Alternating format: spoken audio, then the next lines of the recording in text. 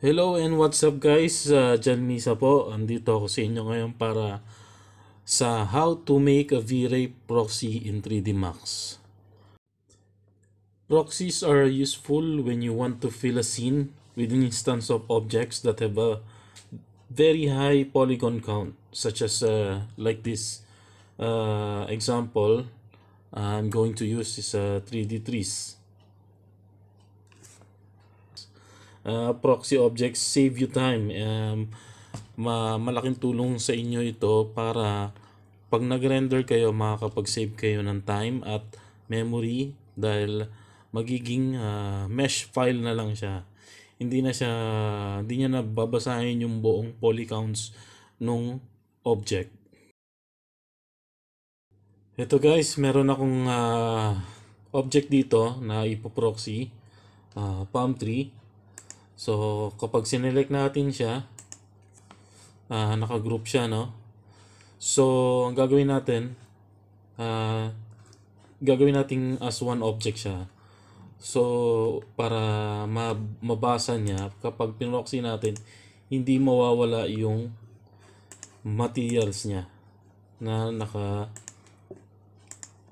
naka-attach sa kanya, no? So, ang gagawin natin is uh, sa group, under ng group, i-ungroup natin. Tapos, select lang sa labas. Select tayo ng isang object na part ng palm tree. And then, from attach, from uh, modifier, dito sa attach, meron tayong makikita square dito. Select uh, the attach list and then uh, use the control key to select all the object and then attach. And then the uh, window will come up will pop up uh, the uh, just select the match material ID to material. And then press OK. So, yung uh, object is uh, isang object na lang kapag sinelect natin. So, ready na siya for uh, converting into uh, V-Ray mesh file. So, what we are going to do is to right-click the object from uh, right-click, select the V-Ray mesh export, and then choose the the folder for the file uh, destination. So from on the right side, press browse. You have to select a particular destination, a folder destination. Uh, right now I have already made a folder for my uh, for this tutorial. So, si-select ko lang 'yon.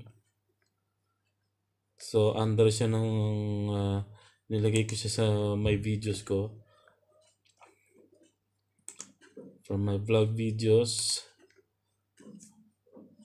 uh, tutorial vlog select and then uh, for my for this tutorial is proxy so I select the proxy you can even make a new folder uh, para dun mo ipunin lahat ng mga proxy file mo so pwede kang gumawa Uh, sa ngayon, meron akong proxy na folder. So, doon ko ilalagay.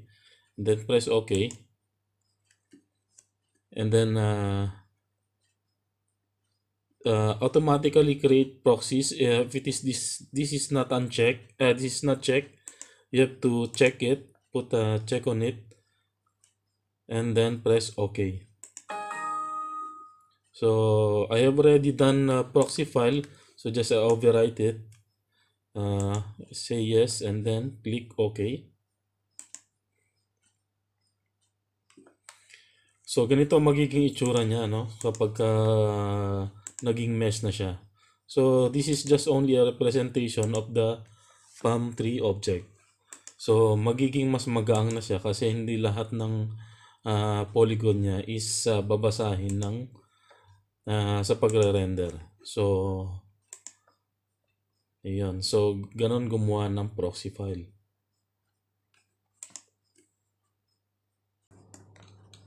Naka-proxy na siya. Press F9.